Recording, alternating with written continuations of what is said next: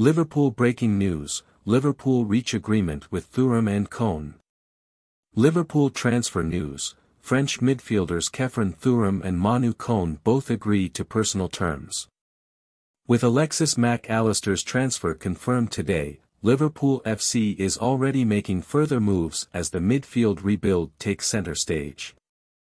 The Reds are reportedly attempting to sign French duo Khéphren Thuram and Manu Koné, two standout performers from the France under-21 team. Sources have confirmed to him that both Khéphren Thuram and Manu Koné have agreed on personal terms ahead of potential transfers to Liverpool FC. It's said that agreement has been reached with Nice for Thuram, and with Mönchengladbach for Koné. This is potentially huge news for Liverpool fans awaiting other new signings. Khéphren Thuram, Liverpool's new midfield maestro, a dynamic midfielder, Thuram has made waves at Nice with his commanding performances. According to Davis. The Frenchman is seen as an ideal candidate to bolster the Reds' midfield, offering a combination of athleticism, technical skill, and an eye for goal. If the move materializes, it would not only enhance Liverpool's squad depth but also signal a clear intent of ambition for the coming season. Manu Koné, an exciting prospect for the Reds.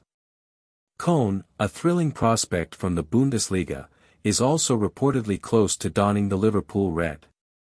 We have to say no one really knows this apart from Jurgen and the regular LFC characters.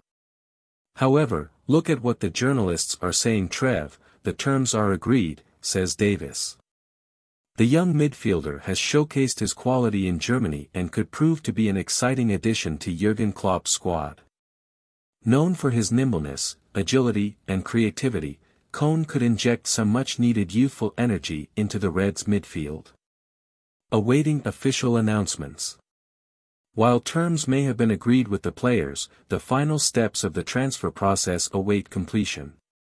It could be every other day, suggests Davis on the timeline of official announcements. The Liverpool FC faithful will be eagerly waiting for official news on these promising transfers. Thuram and Koné represent potential additions of significant quality, indicating an ambitious summer ahead for the Reds. As the transfer season continues, be sure to follow for the latest updates on Liverpool FC's exciting summer transfer activity. I hope you enjoy this exclusive news, please subscribe here, like, share, and comment.